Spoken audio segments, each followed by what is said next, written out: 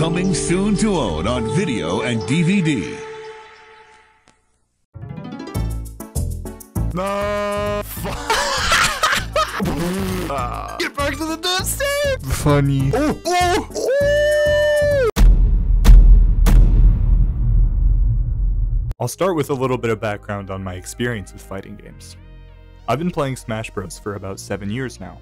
I started with Smash 4 when I was in high school, but I never got to play that often since I didn't own a Wii U and I was too busy rotting my brain on Destiny 1. I never took Smash 2 seriously whenever I would play it with friends. It was mostly me picking Princess Peach and spamming side B the entire match. But that was all about to change when I went to college. I lived in a college dorm room with my buddy Andrew. Now, Andrew was really good at the game, and he owned a Wii U, which is probably why he was so good at the game. We played Smash every day. I'm not exaggerating when I say that I would lose almost every single match that we played. Not in a dignified way either, he would slaughter me over and over again. It was usually a three stock that ended in a spike every single match. It was quite demoralizing. I remember there were days where we would wake up and get out of our little bunk bed, boot up Smash, and he would just look over at me and go, Who do you want to lose to? And I would pick his character to play, and he would beat me every time without fail. I distinctly remember a night where he three stocked me, ending the game with a down air off stage, playing as Ryu on a single Wiimote, not a Wiimote nunchuck. Just the moat. After so many losses, I just assumed that I was really bad at fighting games and just didn't have the ability in me. But then, I was struck with the inevitable. I started watching hours and hours of YouTube content on how to pick a main, how to play neutral, how to recover, matchup guides, watching tournament VODs trying to copy the way that they moved, trying to copy the way that they played the game. I would go into training mode and drill combos for hours. And despite all of that effort, Andrew would still beat me. I didn't think I was improving at all. After all, where were the results? I mean, sure, I wasn't getting three stocked as often as I was, and wasn't as prone to getting spiked at the end of every match, but where were the wins? I didn't realize it at the time, but those hundreds and hundreds of losses made me better at the game. When I would play people who weren't super sweaty at the game, I could actually win. My training of getting thrashed over and over again in that hyperbolic time chamber we called a dorm room actually paid off. You didn't actually lose a match if you know why you lost and how to fix it. This has basically been my approach to learning games ever since. Anyway, we're talking about Rivals of Aether now. Go!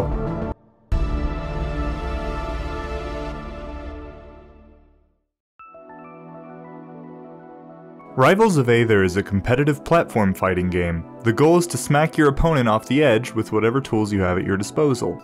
Each character has unique movement, attack options, and strategies. Smash and Rivals are very similar games. Like in Smash Bros, you go boom, boom, bop, bop, pow. But in Rivals of Aether, you go bop, bop, boop, bing, bop, bada, bop, boom, pow. So, uh, as you can see, it's uh, basically the same exact video game. Rivals of Aether is a ripoff. The end.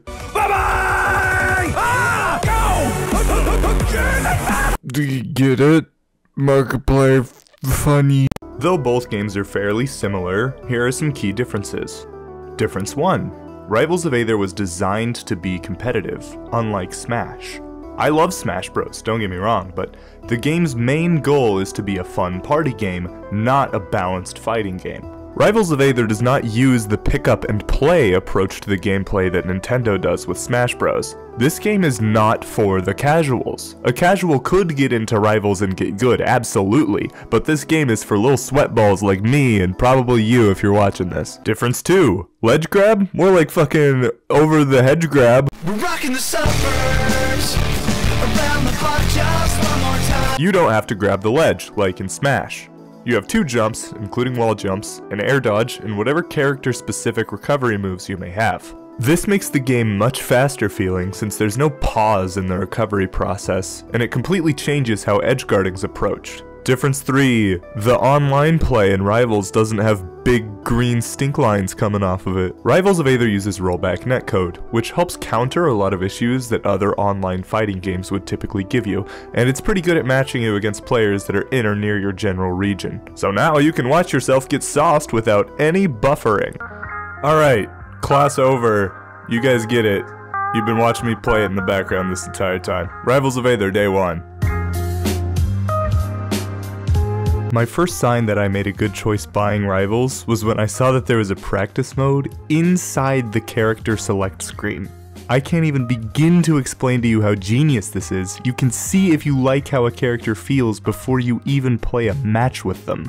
You can even practice combos on a bot while you queue up for an online match. This feature is genius and should be in every single fighting game ever. I instantly connected with Orcane's moveset, this little orca puppy looking thing, when I tried him for the first time, and I decided right then and there that Orcane would be my one trick. This is probably a good time to mention, I don't mean 24 hours in a row. I'm not going to be sitting down and playing a video game for 24 hours straight. This is 24 hours of in-game match time. I originally planned to divide my time half and half between online and ranked, but uh, it's not going so well, as you can see. And now, everyone's favorite part of learning a fighting game. Getting rolled. I woke up, it was seven. I waited till eleven just to figure out that no one would call. I think I've got a lot of friends, but I don't hear from them. What's another night all alone? When you're spending every day on your own, and here it goes. I'm just a kid, and life is a nightmare. I'm just a kid, I know that it's not fair. Nobody cares, cause I'm alone, and the world is having more fun than me tonight. And maybe when the night is dead,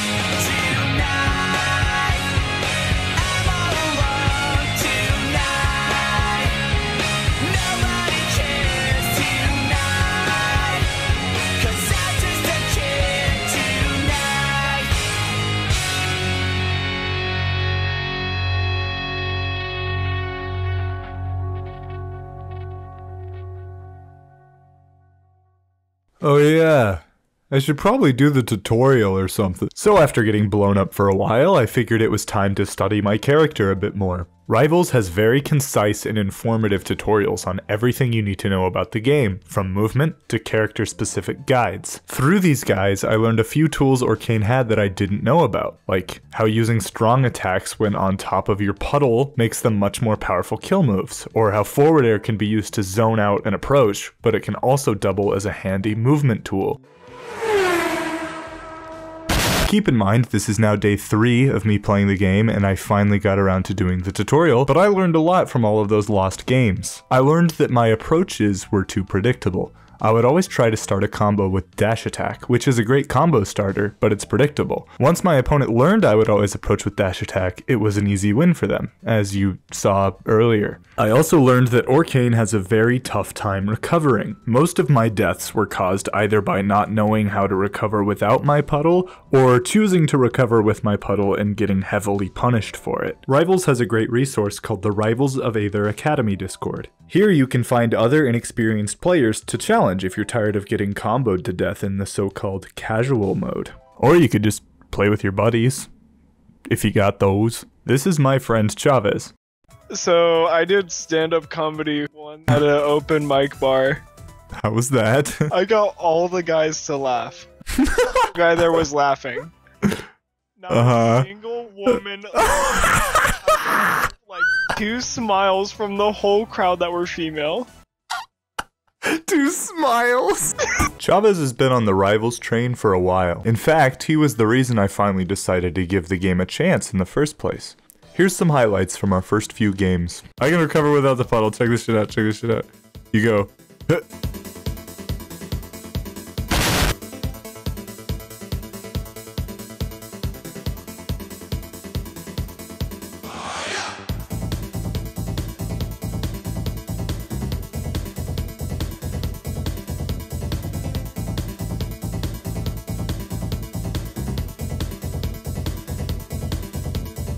Huh. Why did you do that? Why do you hit like a bus full of concrete? It's so. On the glass cannon. I, I'm. I've yet to see the glass aspect of this character. It has only been canon so far.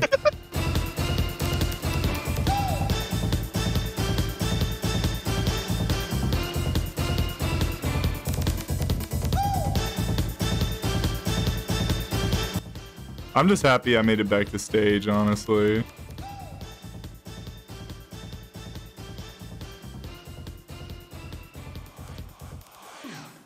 I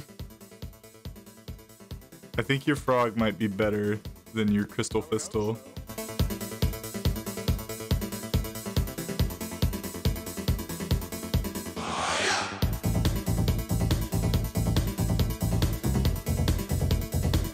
But my combos are fucking nasty.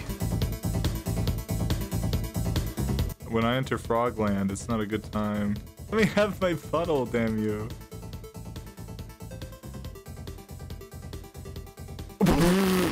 what a read. No. Okay. Oh wait. Oh, I just I just need to boop you, dude. No. okay, yeah, just do that to me. Quit DIing in. Ah. As I DI in. Oh.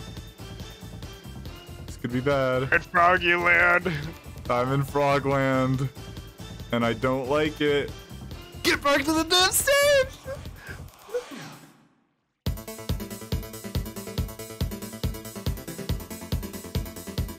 What? I thought I got you for sure. Can't you can't get you can't get Mr. Bowflex. That's my nickname. It's not your nickname. No one has ever called you that. you fucking liar.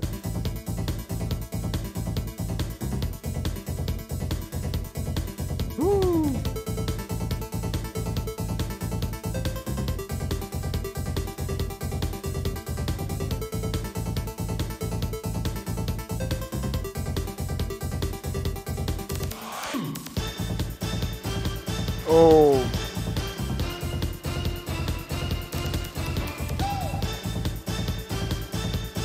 No! Oh, I have another stock. Almost made that not another stock.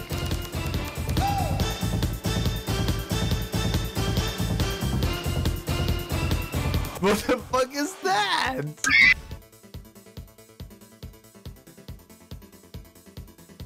Out of here. That was sick.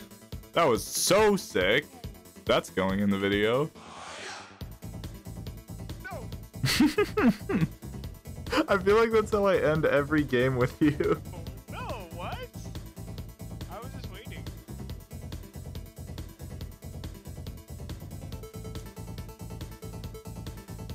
Nice. Woo! A little wave dash into the puddle is is the that's the gaming.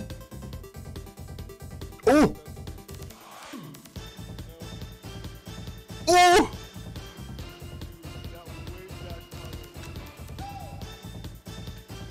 Ooh! Okay. Okay. Ooh, that felt good. This game gives the dopamine rush big time. You've been playing pretty good. I've been playing better, for sure. I'm improving. When I hit day 3, I felt myself starting to understand the game a little bit better. Let me break this gameplay clip down as an example of what I mean. If you aren't into fighting games, this might sound like gibberish, but I'll try my best to be coherent. I noticed early on in the match that this Mollo liked to roll when they would miss a strong attack, so I used my side special here to punish what I knew he would do. This is commonly referred to as a read. After that hits, I dash over to the ledge to try and confirm a kill with my back air. You turn your character around just before you jump. I do this because back air is one of Orcane's best kill moves, especially off stage. Unfortunately, I don't hit with the sweet spot, which is on the tip of Orcane's tail. Here I panic a little since I'm off stage with Orcane, but I'm able to make it back with a wall jump up special. Like all Mollo mains, the worms in this player's brain whisper for him to spam more strong attacks. Fortunately, I'm able to jump over the hitbox and punish with a falling neutral air. The Mollo here has three options tech in place, tech roll in, or tech roll out. I just had to guess which option he would choose, and the Mollo gets hit by Bubble Butt. Which is the official name of this move. Fight me. Then you just run over to him and go. God, this video's getting too long.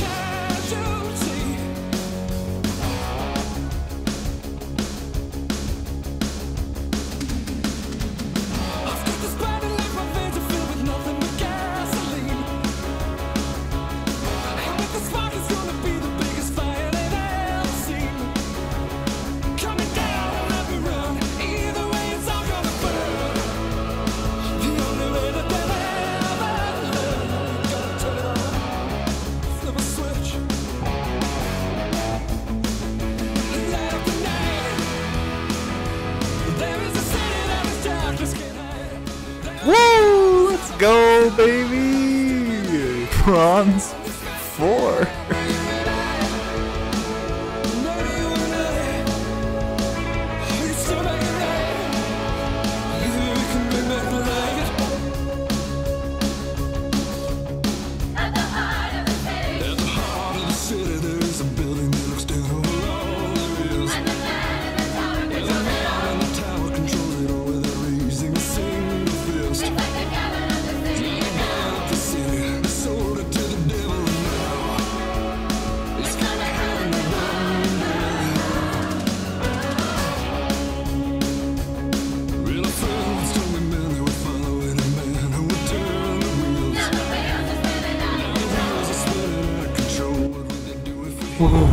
No way I won that.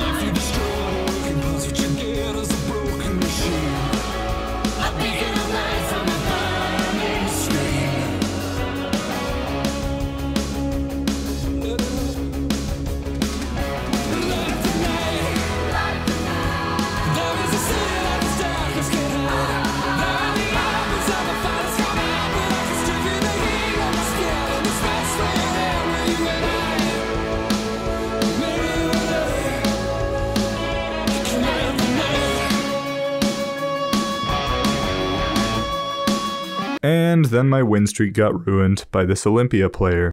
If you play Olympia, go ahead and comment where you live down below so that I can actively avoid you.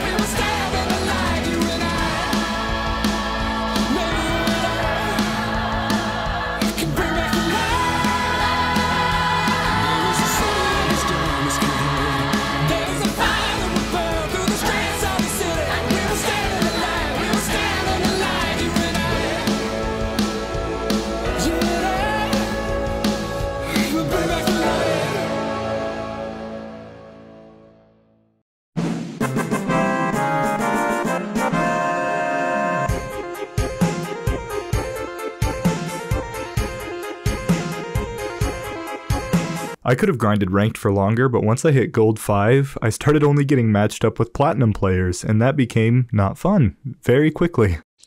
Oh, brother, this guy stinks! For the rest of my 24 hours, I just wanted to hop into casual mode and have a good time playing some characters that I never played before. You can see me here playing Maypul for the first time. But you know I had to end off the 24 hours with a few games with my buddy Chavez. No! my lag switch. No, rolled in. Working. Hey, did you see the new MK Leo? Spargo? No. What? Nice, nice. Butthead, fuck you. Okay. Oh! No! oh, you read me so hard. I don't know. I have.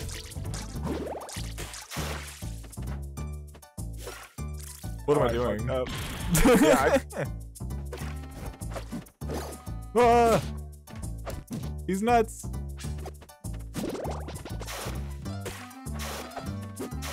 Ah, yes. my smash attacks without puddles have no dick.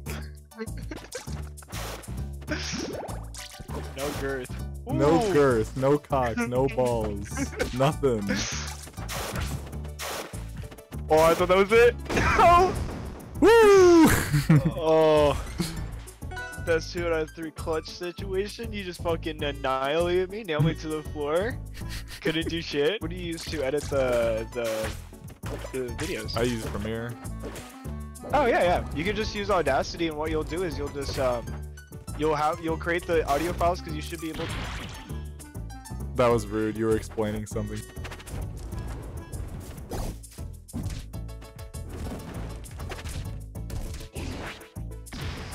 Nice.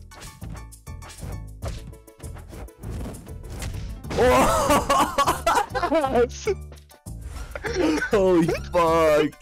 that was sick. Were you recording that? Yeah, I'll put I'll fucking put that Yes. in. I think the only logical conclusion is to do a money match for all of our money.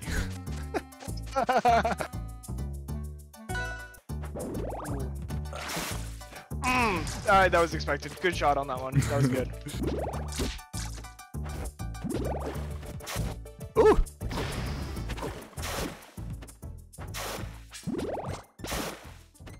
Beautiful. You got me right there. That was a nice pinch.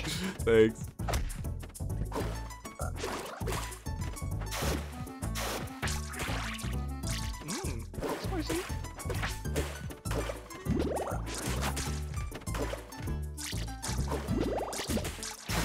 You're utilizing your uh, ability. That was really good ability usage. That was insane.